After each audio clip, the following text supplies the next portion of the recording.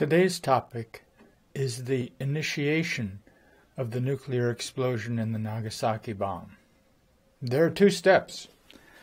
The first is the detonation of the chemical explosive that compresses the plutonium, and the second is the emission of enough neutrons at the center of the compressed plutonium to start the nuclear reaction.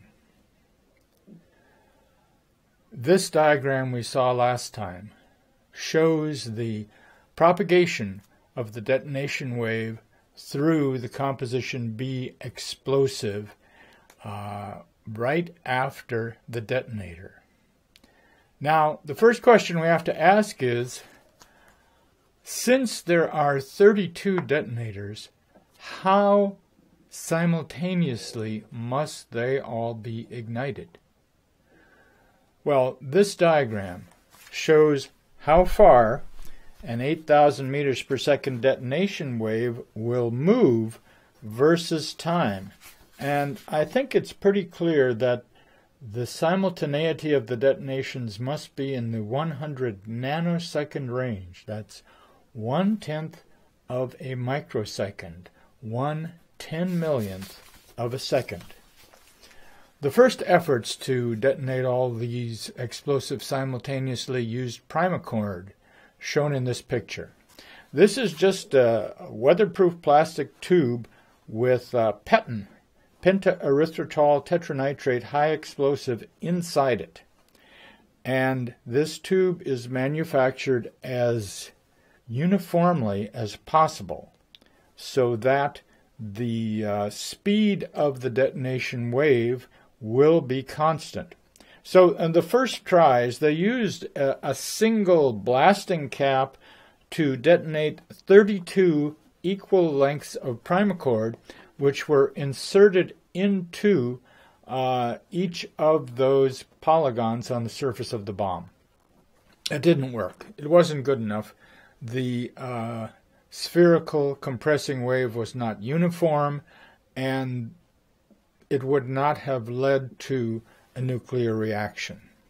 So, what was finally decided upon was to use a, an electric detonator, uh, a set of 32 electric detonators. Unfortunately, the electric detonators at the time uh, were were not uniform enough. So they invented a new type of electric detonator called an exploding bridge wire detonator. This is a diagram from some uh, advertising materials. You can see two wires coming in here with a, uh, a header uh, made of plastic. And you can't actually see the bridge wire. It uh, spans between those two wires right at the beginning of the PETN. And when the wire explodes, it sets the PETN off, which in turn sets off the RDX and goes on to the rest of the body of the high explosive. Now, the uh, the next trick was to get all of those exploding bridge wire detonators to go off at the same time, and for that, they used a modification of a circuit called a Marx generator.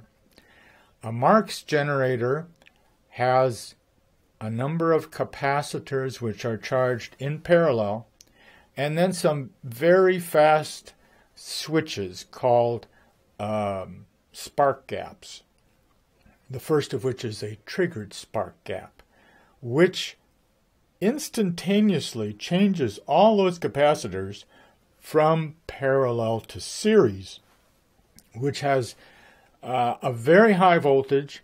And since the capacitors are extremely low impedance capacitors, they can also supply a very high current for the short time it takes to vaporize those bridge wires and start the explosions going.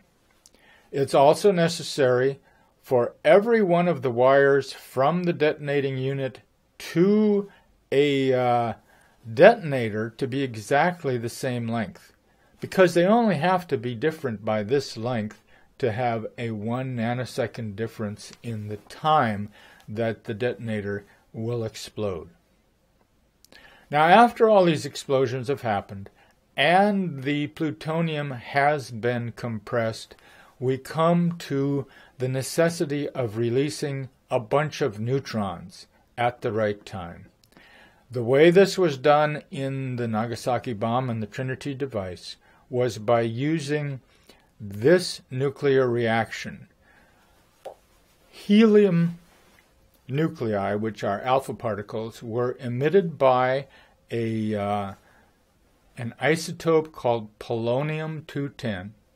And th- when these helium nuclei or alpha particles struck beryllium 9, they created carbon 12 and an extra neutron and a gamma ray.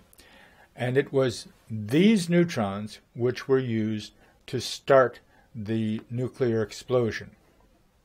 This picture shows the physical arrangement of these materials. Basically, this device was called an urchin.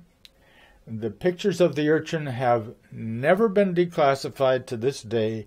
This picture was drawn by Alex Wellerstein for his excellent Nuclear Secrecy blog, based on verbal descriptions of the urchins. The entire structure is made of beryllium, including the outer shell and the inner sphere. The inner sphere is suspended on some pins, uh, which is the re- reason for the name urchin for this whole thing. The beryllium parts of this were plated with either nickel or gold or both. And then on top of that was plated the polonium, so that the polonium is isolated from the beryllium until the whole thing is squashed by the implosion of the plutonium sphere. This thing is only an inch across and it right, sits right in the center of the plutonium sphere. When it's squashed, all those ridges you see are there to ensure a quick and complete mixing of the polonium with the beryllium and the resulting release of uh, quite a bit of neutron radiation to start the nuclear reaction. Now, in more modern bombs, we see instead a device like this. This one is from the Lawrence Berkeley Laboratory, and it shows a titanium target which has some deuterium and or tritium uh, reacted with the titanium to form titanium hydride or deuteride and a plasma generator which also has deuterium or tritium, and a high voltage accelerator. So basically, in this kind of device, and, and you can see from the scale that the thing is less than a centimeter across and just a few centimeters long, this thing can generate sufficient neutrons to set off a nuclear weapon, and it doesn't have to be in the center it can be on the outside and beam the neutrons in to the center where they're needed to set off the reaction. Now, the main reason why this kind of device is used today instead of the urchin is that the polonium 210 in the urchin has a half life of only 138 days. So it was necessary every uh, couple of years to disassemble the Nagasaki type bombs, remove the urchin, and put in a fresh one. Uh, the whole point of keeping uh, an arsenal of nuclear weapons is kind of defeated if you have to take them apart every couple years and renew some of the parts.